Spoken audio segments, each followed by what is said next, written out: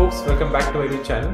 In the previous videos we have covered what an MLOps landscape looks like, what are the different components that form a part of your MLOps pipeline and we also discussed some of the top tools that come for each of the different stack components. If you remember, the last tool that we discussed was DVC, which was used as a data versioning component. So it's just one implementation of the data versioning component. And today we'll be talking about something called data annotation. So this is a topic which receives slightly less attention compared to the other topics in the MLOps arena. So we'll be talking about what data annotation is and why it is important so that you get the motivation behind it. And then we'll also look at a tool that allows you to annotate your data effortlessly. So to begin, let me first uh, give you an intuitive understanding of what data annotation is. So think of annotation in terms of adding meaning to some raw data. So you need some data to actually train the ML model. But how do you make this model make sense of data? That is done through data annotation. So to give you some concrete examples to help you understand better, let's talk about the healthcare industry. So the healthcare industry, you may find use cases like um, annotating X-ray images or MRI images. So what you do is you basically annotate parts of that image and identify those things so that your model understands what this image is. And then you can train your model better. That is one use case. Another use case could be say in the self-driving car industry. So you can annotate stuff like pedestrians or road signs, other cars or whatever other things that can appear on your road. So that's also part of annotation. And it is not just limited to annotating image data. It can also be text data. For example, um, let's talk about the retail industry. Giants like Amazon and Flipkart use text annotation to figure out what is the sentiment behind all the reviews that they get on the products. So there is also something which is useful uh, for a model. So once you have the idea of what data annotation is, we can then move on to actually figuring out a tool or using a tool to annotate some real data? So without wasting any more time, let me jump into this tool called V7. So here you can see this is the dashboard. So this is what you see when you first log in to V7.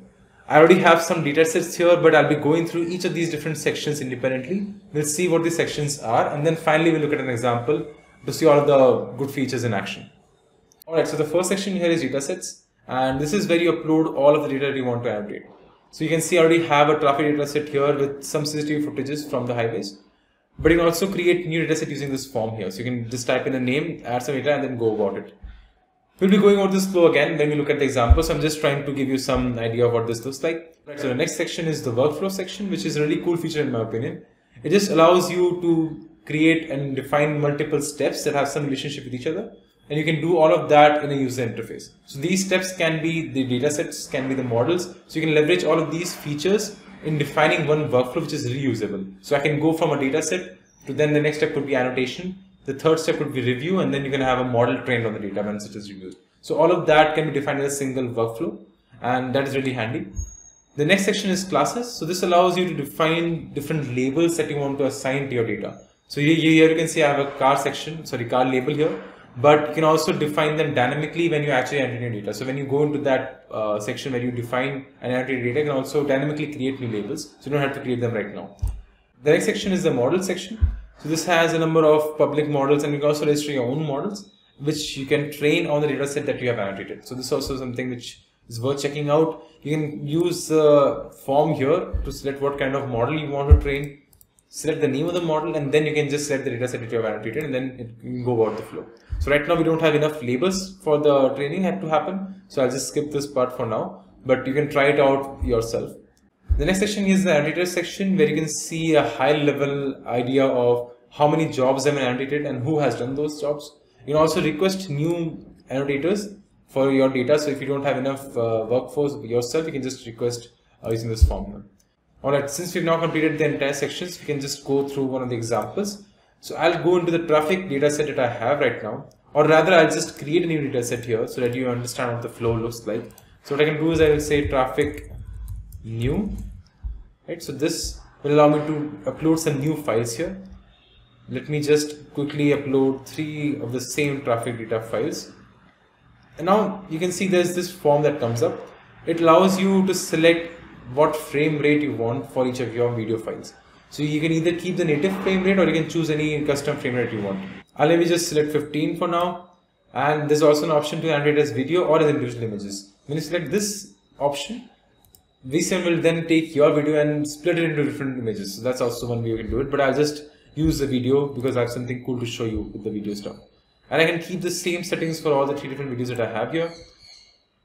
So once data is uploaded, I can go into the next step, which is dataset classes. So here you can define what kind of classes you want to assign to your data, basically. So you can create a new class here. So maybe I can, uh, or maybe I can just skip it at this point and we'll do that later on. So you just save and continue. And here you can pick a workflow. So this is where you can define a workflow. So maybe I'll just pick the basic template, uh, which is the basic workflow. Alright, so once you have uploaded uh, all your data and you have selected a workflow, we can then get started with our annotation jobs. So I'll just open up one of the files here or maybe I'll just go to the next one because this looks a bit cleaner to me. At the bottom here you can see there are multiple frames that V7 has already populated. So for video format uh, files, V7 automatically creates a timeline for you and you can just drag this cursor here to select one of the individual frames, uh, sample at the frame that you select basically. Now what I can do is this, I can just go into any each of these frames and annotate all of my uh, objects here. So to that there's this entire uh, section here which you can find on the left.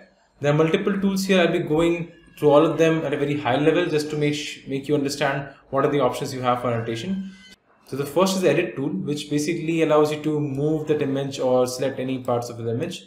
The second is the auto annotate tool which is one of my favorite tools and this allows you to automatically select uh, the boundaries for whatever objects you have. So we'll be looking at that later on. Um, the next step is the polygon tool. This allows you to define different polygons uh, around your uh, image. So maybe what I can do is I can show you how that is done. So maybe I'll click on the polygon tool, I'll go through this thing, I'll just define multiple points here. So all of these points form the boundary for my object, right? So I can define any custom shape I want with this. So once you've selected any particular um, object, then you have the option to specify a class for it. Right, so I didn't create any classes or labels before as you remember. So I can do that now. I'll add a new class and I can say car. And you can see the annotation type is automatically polygon because that is the kind of annotation I've done. And then you can set other attributes, you can add a description and as if you wanted, you can add a thumbnail and then you can do add class. So once I add a class here, uh, okay, there's, there's already a class which exists. So maybe I'll do car2 here so once this is done, you can then start annotating other uh, cars with the same tool. So you can see there's a car2 label which comes up on the top here. You can set what class you want and then you can start annotating all of your different classes. So this is how you use the polygon tool. The next step is the brush tool which is again similar. You just have to paint a particular section that you want to add a class to and then we prompted to also add different classes. So you see there's already a car2 label which is automatically applied to it but you also have options to change the brush size and all the different customizations that you want. There's also a bounding box tool which is also super handy. You can just convert all this. So basically a polygon uh, class can be converted to any of the different other classes. So you remember I started off with polygon and defined the car2 label for the polygon class. But then as I select the different uh, kinds of tools that I have, different kinds of options I have for annotation, you can see that the box actually changes to actually match whatever category I'm using right now. So with the bounding box, I have this thing, but I can also create new bounding boxes which are much better defined, and I can also create new classes specifically for the bounding box uh, category. So once that is done, so I'll just quickly go through the rest of these. So there's an ellipse tool, there's a line tool, so you can use it to maybe annotate the dividers and stuff like that. There's also a comment tool which you can use when you're talking to different teammates uh, on the same portal. But on a high level, these are what you have. These are some of the most popular options to annotate your data. So now what I can do is this, I'll just get rid of um, this annotation and maybe we can start off with annotating some of our data here. So what I can do is maybe I select the bounding box to begin with. I'll select one of these cars here and I'll add a new class. So this class is called a car, which is a bounding box type. I'll add this class. Perfect. So what I can do now is I can keep selecting more cars here. So whatever box I select will be annotated with that car option. There you go. So I have three cars now here. So this is really handy and you can select for how long you want, for how many frames you want this annotation to stand. And by what, what I mean by that is if I drag my cursor throughout this section, you can see that the car annotation is persistent across multiple frames but there's one problem, but there's one obvious problem that the cars have now shifted their positions. There's no longer a car in this particular frame here. So how do you handle that? So usually the natural way of doing that would be to go into each of these frames and then adjust all of your parameters here basically. That is how to do it. Now this looks like a tedious process, right? So you have to go into every frame and then you have to select and you have to adjust the position of your bounding box depending on the position of the object in that frame, right? So thankfully there's a feature called interpolate. So you can see there's uh, interpolate option here at the right, which is enabled by default. So what this means is that once I have adjusted the bounding box at this particular image, at this particular frame, then all of the frames between these have automatically taken up the entire flow. How cool is that? So you don't have to go into each of this frame to manually adjust all your bounding boxes, but just annotate the ends and then the rest of this are interpolated automatically by V7. So this is really, really cool and comes in really handy with the uh, video features. I'm really happy about that. I just zoom in a bit to show you there's this thing which is called a keyframe. So whenever you edit any particular frame, you get this option here, which is the keyframe. So basically it just says that you have made some customization at this particular frame. So what I can do is I can even go to the end of this frame and then I can also adjust my annotations again. So it's up to date, right? I'll just put it here. And now if I play the entire section, you can see that the bounding box follows my car perfectly. Alright, so this is done. Now another way of selecting your objects for annotating them is through this tool called auto annotate. Now this is a really cool features already discussed and what this does is basically figures out the bounds or the edges of your object itself without you having to manually define them. So to demonstrate that maybe I'll go into this frame here. You just have to select the region which has your object. There's, there needs to be some margin around the actual object and then you have to just wait and then you can see V7 has already calculated the edges in the exact way for this car. Now, as with the other um, way of uh, doing annotation, if you just move this frame, you can see that this annotated uh, area has been left behind. So all you have to do now is just to click on rerun. So this will now adjust again to the car's position in the new frame. So this is again the same way and all of the points between these two points have automatically been calculated for you. So this is again the same as interpolation with the other um, categories. So once you have done with all of your annotation job, you can then click on send to annotate. So this is part of the workflow which I showed you earlier. So when I click on send to annotate, I can then let's say send to review. So all of that is now a process uh, which is part of the workflow. So maybe just to give you a better idea, better look to that, what I can do is I can go into the workflow set tab here. So this workflow tab can show you how many of the files you have in your dataset, how many of them have been completed and how many are in progress. So what I can do is I can see there's, this is the one which I have been working on before. So this is being annotated, which is this label. You can also see there's this in review. So I went to the review stage for this particular file here. So what I can do is I can also open this. It will open up in the review uh, section. So you can see there's a review uh, label here. So I can just say mark as complete. So I'm the reviewer now and I'm marking this uh, job as complete.